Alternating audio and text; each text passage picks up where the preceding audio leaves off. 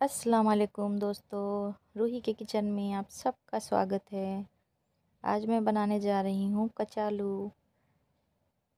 लिए मैंने एक बर्तन ले लिया है। उसमें हम कुछ, हमने आलू अच्छे से वॉश कर लिया है। अब हम इसको इसमें डाल देते हैं। और हम इसमें पानी डाल देते हैं।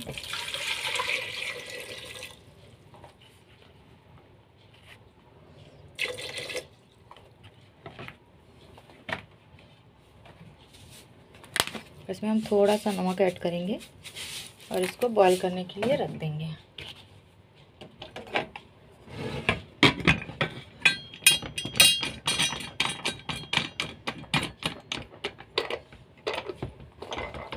अब हम आ, आ, आलू को बॉईल करने के लिए 10 मिनट के लिए रख देते हैं। आलू हमारा अच्छे से बॉईल हो रहा है जब तक हम चटनी पीस लेते हैं। मैंने कुछ मिर्ची ले लिए हैं। लहसुन ले लिया है और हरा धनिया। अब हम इसकी चटनी पीस लेंगे।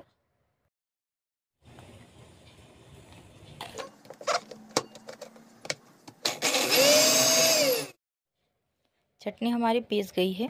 अब हम आलू देख लेते हैं।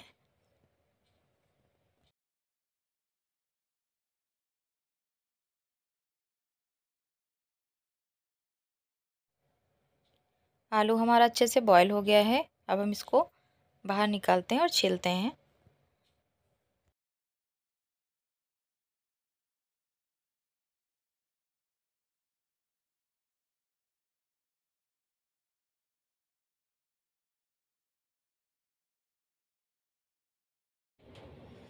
ये हमने आलू बॉईल कर लिया है।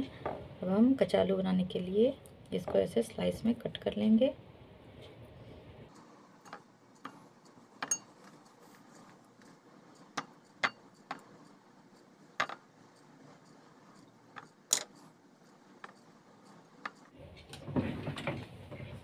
अब हम इसमें ऐड कर देंगे थोड़ा सा मिर्चा पाउडर।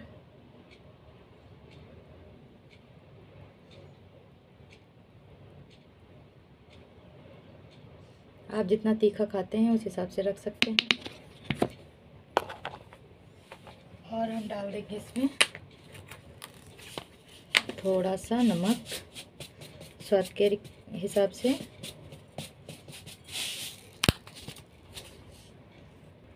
और हम इसमें डाल देंगे थोड़ा सा चाट मसाला।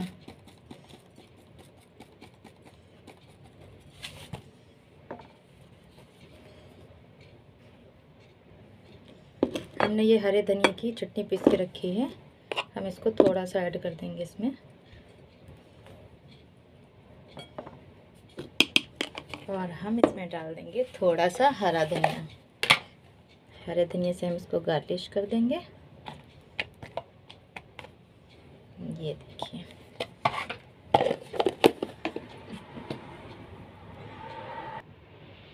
और ये देखिए, कचालू रेडी है। आप इस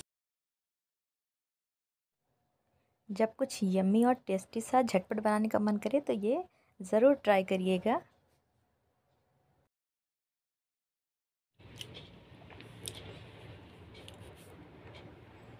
चलो देखते ही। मेरे मुँह में तो भर भर के पानी आ रहा है। अगर आपके मुँह में भी आ रहा है तो आप आइए, हमारे साथ इंजॉय करिए। मिलते हैं नेक्स्ट वीडियो में। आज के लिए अल्लाह हाफिज़।